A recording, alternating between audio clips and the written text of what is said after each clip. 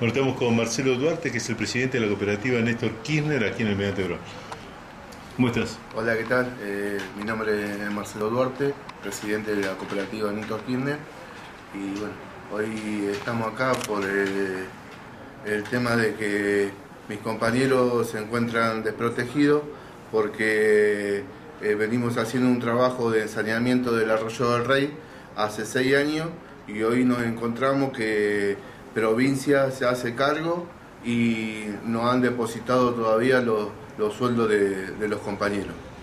¿Cuántas personas son, Marcelo? Tenemos a cargo 60 personas, eh, 60 compañeros eh, eh, trabajando en el saneamiento del arroyo del Rey, que hoy se encuentran eh, muy complicados con el arranque de las clases, que no, no tienen eh, no han depositado los sueldos y no, se encuentran sin plata y, y, con muchos problemas económicos. Es un reclamo a la provincia, entonces.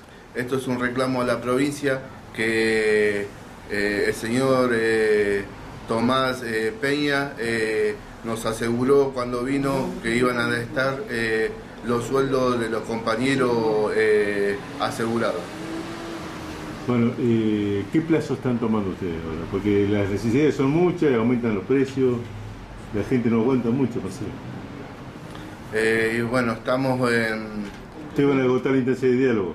Eh, estamos en diálogo con, eh, con el intendente de, de Almirante Brón que eh, nos está dando una mano para resolver el, el problema de, de los compañeros. Bueno, y, ¿qué tenés ganas de decirle a la provincia? Este, ¿Qué le tenés ganas de decir al funcionario que, que seguramente este, tiene que saldar la deuda con usted? No, a la provincia le, le, le quiero pedir que eh, hoy 60 compañeros eh, no tienen eh, para comer, no tienen para moverse y necesitamos que, como nos prometieron, que se hagan cargo de lo que nos dijeron, de los sueldos de los compañeros. Bueno, ¿algo más? Eh, no, no eh, eh, agradecer a, a, la concejal Laura Silvetti, agradecer a, a, la gestión de Mariano Cascallare que está trabajando para que solucionar el problema de todos los compañeros.